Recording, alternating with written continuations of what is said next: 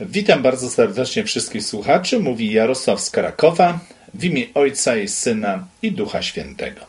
Część na wtorek. Misja Kościoła. Porównanie Kościoła do ciała Chrystusa oznacza, że Kościół ma czynić to, co czyniłby Zbawiciel, gdyby nadal cieleśnie był na ziemi. Właśnie do tego zostało, został powołany Kościół jako zgromadzenie. Nie chodzi o to, że Kościół ma misję.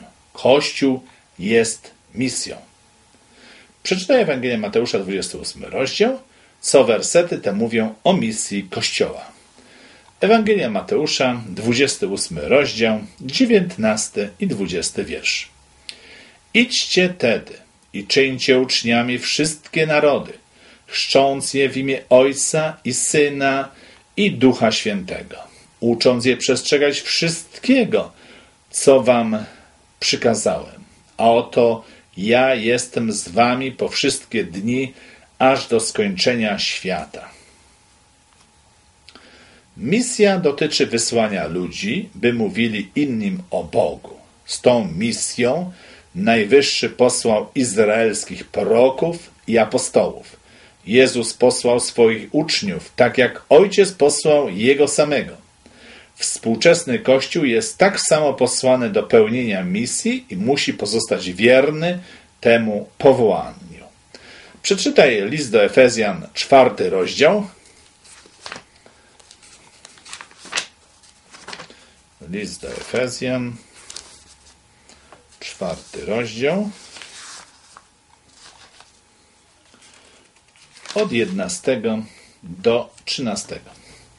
A on ustanowił jednych apostołami, drugich prorokami, innych ewangelistami, a innych pasterzami i nauczycielami, aby przygotować świętych do dzieła posługiwania, do budowania ciała Chrystusowego, aż dojdziemy wszyscy do jedności wiary i poznania Syna Bożego, do męskiej doskonałości i dorośniemy do wymiarów pełni Chrystusowej.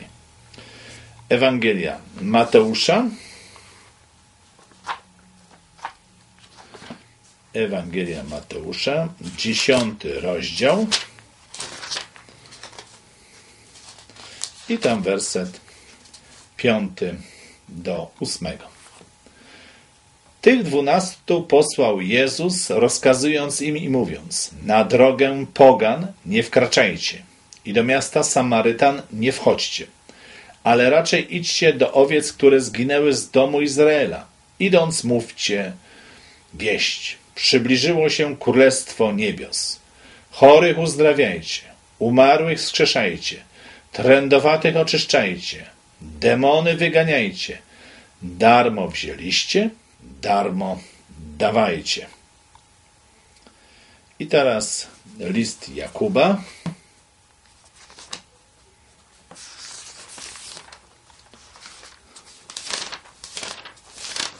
List Jakuba, pierwszy rozdział i dwudziesty siódmy werset. Czystą i nieskalaną pobożnością przed Bogiem i Ojcem jest to, nieść pomoc sierotom i wdowom w ich niedoli i zachować siebie niesplamionym przez świat. List do Efezjan, pierwszy rozdział,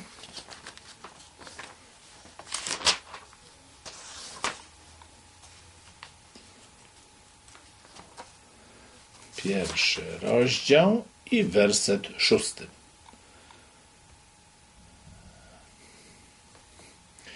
Ku uwielbieniu chwalebnej łaski swojej, którą nas obdarzył w umiłowanym. 1 Piotra 2,9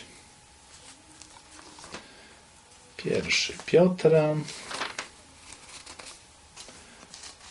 2,9 ale wy jesteście rodem wybranym, królewskim kapłaństwem, narodem świętym, ludem nabytym, abyście rozgłaszali cnoty tego, który was powołał z ciemności do cudownej swojej światłości.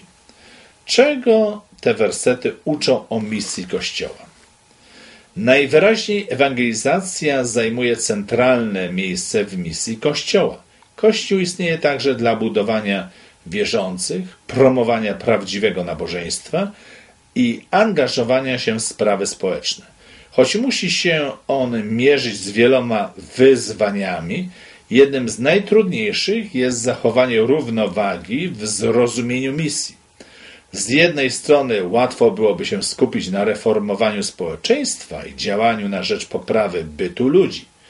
Mimo, mimo, że tego rodzaju działalność jest ważna, nigdy nie może być prowadzona kosztem ostatecznej misji Kościoła, którą jest prowadzenie zagubionych ludzi do Jezusa i przygotowanie ich na Jego powtórne przyjście. Jednocześnie musimy unikać skrajnych postaw i zaniedbywania obowiązków codziennego życia, jakby każde niepokojące wydarzenie w świecie miało zwiastować rychły koniec. Potrzebujemy Bożej mądrości, by wiedzieć, jak zachować równowagę. Czy jesteś zaangażowany w misję Kościoła? Czy mógłbyś się w nią zaangażować bardziej? Dlaczego dla Twojego duchowego rozwoju ważne jest zaangażowanie w misję, do której powołany został Kościół? Dziękuję bardzo.